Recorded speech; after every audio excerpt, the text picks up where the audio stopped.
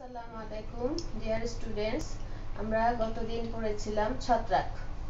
ছত্রাক কি, মাশরুম কি, ছত্রাকের বৈশিষ্ট্য কি, শৈবাল ছত্রাকের মধ্যে পার্থক্য কি এবং ছত্রাকের দৈহিক গঠন।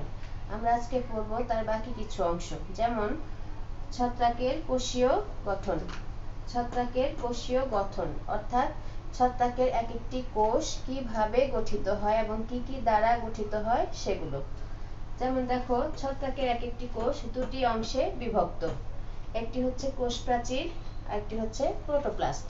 কোষ প্রাচীর এবং প্রোটোপ্লাস্ট। কোষ প্রাচীরের মুখ্য উপাদান হচ্ছে কাইটিন, অর্থাৎ একটি কোষের এটা যদি একটি কোষ হয়, তার বাহিরের যে শক্ত আবরণ সেটাকে বলা হয় কোষ প্রাচীর এটা হচ্ছে কাইটিন দ্বারা তৈরি, কাইটিন নির্মিত। এটা হচ্ছে তার মুখ্য উপাদান, কাইটিন। কোষ প্রাচীর ছাড়াও থাকবে হচ্ছে প্রোটোপ্লাস্ট। অর্থাৎ প্রোটোপ্লাস্ট কাকে বলে এটা আমরা আগেও জেনেছি, আজকে আবারও জেনে নিচ্ছি। যেমন, প্রোটোপ্লাস্ট হচ্ছে কোষ প্রাচীরের ভিতরে সমুদয়, সজীব অংশকে একসাথে বলা হয় প্রোটোপ্লাস্ট। কোষ প্রাচীরের ভিতরের সমুদয়, সজীব অংশকে বলা হয় প্রোটোপ্লাস্ট। এই প্রোটোপ্লাস্ট আবার কি কি দ্বারা গঠিত? যেমন প্রোটোপ্লাস্ট হচ্ছে কোষ, ঝিল্লি সাইটোপ্লাজম নিউক্লিয়াস এই জিনিসগুলো দ্বারা প্রোটোপ্লাস্ট গঠিত। দেখো, কোষ, ঝিল্লি। যদি এটা হয় কোষ প্রাচীর, কোষ প্রাচীরের ভিতরে যে অর্ধভেদ্য পাতলা সেলুলোজ নির্মিত পর্দা থাকে, সেটাকে বলা হয় কোষ, ঝিল্লি, অর্থাৎ প্লাজমা মেমব্রেন কোষ ঝিল্লি অথবা প্লাজমা মেমব্রেন। কোষ প্রাচীরের ভিতরের পাতলা পর্দাকে বলা হয় কোষ ঝিল্লি অথবা প্লাজমা মেমব্রেন। এটি হচ্ছে আর্গোস্টেরল দ্বারা তৈরি। আর্গোস্টেরল হচ্ছে এর প্রধান উপাদান এবং কোন কোন কোষ প্রাচীরের কোষ ঝিল্লির কোন কোন জায়গায় এরকম পকেটের মতো কিছু গঠন সৃষ্টি করে, যেটাকে বলা হয় লোসোজোম। যেটাকে বলা হয় ক্লোমোজোম কোষ ঝিল্লির ভিতরে কিছু অংশ এরকম বর্ধিত হয়ে পকেটের মতো গঠন সৃষ্টি করে, যেটাকে বলা হয় লোমোজোম। এছাড়া থাকবে হচ্ছে সাইটোপ্লাজম। দেখো, সাইটোপ্লাজম। সাইটোপ্লাজমটা কি? কোষ ঝিল্লির ভিতরে যে জেলির মতো থকথকে অংশ দেখা যায়, সেগুলোকে বলা হয় সাইটোপ্লাজম। জেলির মতো থকথকে অংশ, সেটাকে বলা হয় সাইটোপ্লাজম। সাইটোপ্লাজম তরুণ হাইফা, দেখো, তরুণ মানে তরুণ অবস্থায়, হাইফা অথবা মাইসেলিয়াম। তরুণ অবস্থায়, হাইফা অথবা মাইসেলিয়ামের মধ্যে সাইটোপ্লাজমগুলো থাকে ঘন এবং দানাদার। তরুণ অবস্থায়, হাইফা বা মাইসেলিয়ামের ভিতরে যে সাইটোপ্লাজমটা থাকে, সেটা থাকবে ঘন এবং দানাদার। কিন্তু পরিণত অবস্থায় সেটা স্বাভাবিকের তুলনায় পাতলা এবং গহ্বরযুক্ত থাকবে। পরিণত অবস্থায় সাইটোপ্লাজমটা থাকবে পাতলা এবং গহ্বরযুক্ত এছাড়াও সাইটোপ্লাজমে থাকবে এন্ডোপ্লাজমিক রেটিকুলাম মাইটোকন্ড্রিয়া, কোষ গহ্বর ইত্যাদি। এগুলো ছাড়াও সাইটোপ্লাজম বিক্ষিপ্তভাবে ছড়ানো, ছিটানো থাকে, এন্ডোপ্লাজমিক রেটিকুলাম মাইটোকন্ড্রিয়া এবং কোষ গহ্বর। এরপরে আরেকটা যেটা থাকে সেটা হচ্ছে নিউক্লিয়াস। নিউক্লিয়াস সংখ্যায় এক বা একাধিক থাকতে পারে।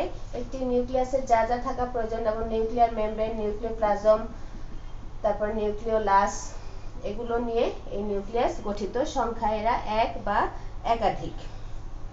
আচ্ছা নিশ্চয়ই এই ছক থেকে আমরা কোষীয় গঠনটা তোমরাও বুঝতে পেরেছ।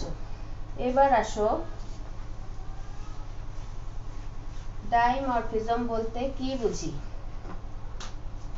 ডাই মরফিজম কি? ডাইমরফিজম বলতে কি বুঝি? দেখো ভিন্ন ভিন্ন পরিবেশের কারণে নিজের আকৃতি পরিবর্তনের যোগ্যতাকে ডাই ডাইমরফিজম বলে example histoplasma histo P L A S M A histoplasma দেখো, ডাই।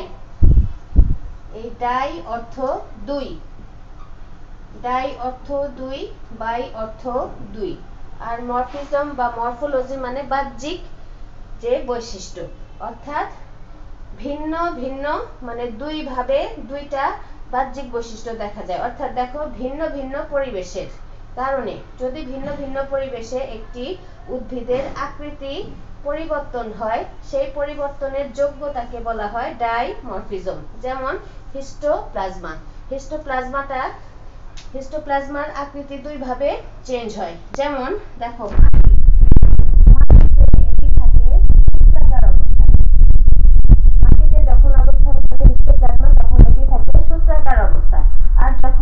মানুষের ফুসফুসে থাকে। মানুষের ফুসফুসে, ফুস, ফুসে থাকে, তখন এটার আকৃতি থাকে হচ্ছে কোষপিণ্ডের মতো। কোষ পিণ্ডের মতো অবস্থান করে। অবস্থান করে। অর্থাৎ পরিবেশ কিন্তু ভিন্ন। দেখো, একটা পরিবেশ হচ্ছে মাটি আর একটা পরিবেশ হচ্ছে মানুষের ফুসফুস। তাহলে দুটি পরিবেশে এর আকৃতিটা ভিন্ন ধরনের হয়ে গিয়েছে। অর্থাৎ মাটির মধ্যে রয়ে গেছে সূত্রাকার অবস্থায় এবং মানুষের ফুসফুসে এটার আকৃতিটা চেঞ্জ হয়ে হয়ে গিয়েছে কোষ পিণ্ডের মতো। তাই ভিন্ন ভিন্ন পরিবেশে এর যে আকৃতিগত চেঞ্জটা হয়, সেই চেঞ্জ হওয়ার যে যোগ্যতা, সেই যোগ্যতাকেই বলা হয় ডাইমরফিজম। তাহলে তোমাদের প্রশ্ন আসতে পারে ক অথবা খতে, যে ডাইমরফিজম কি অথবা ডাইমরফিজম বলতে কি বুঝো? তাহলে আমি বলতে পারব যে তোমরা নিশ্চয়ই এই বোর্ড থেকে দেখে দেখে বুঝে ফেলেছো যে ডাইমরফিজমটা কি এবং তোমরা আশা করি লিখতেও পারবে আচ্ছা আজকে এতটুকুই। এরপরে আমরা পড়ব জনন, ছত্রাকের জনন প্রক্রিয়া। ইনশাল্লাহ আল্লাহ হাফিজ।